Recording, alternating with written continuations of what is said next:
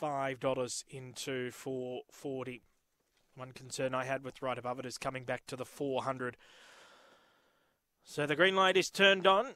Lewis on its way. They're set to jump race three. Ready,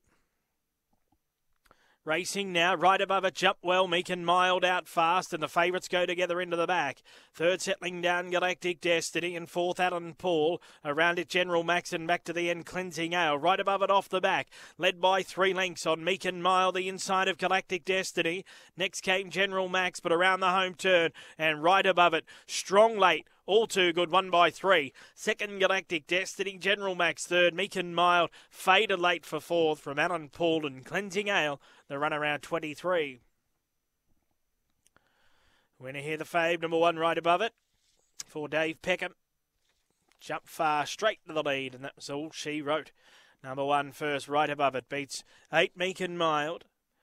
440 Galactic Destiny Uh, well, we'll run second. So it's right above it from Galactic Destiny, General Max third, and fourth in will be Meek and Mild. So one, four, five, and eight. One, four, five, and eight are the numbers here. One, four,